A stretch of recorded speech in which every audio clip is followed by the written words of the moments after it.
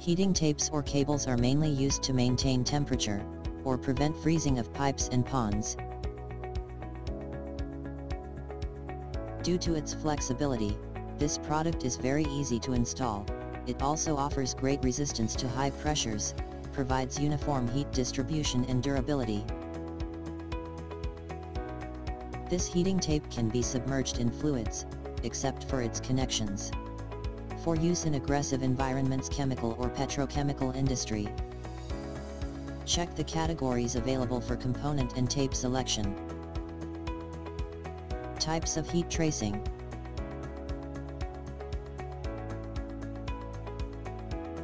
Insulation products and accessories.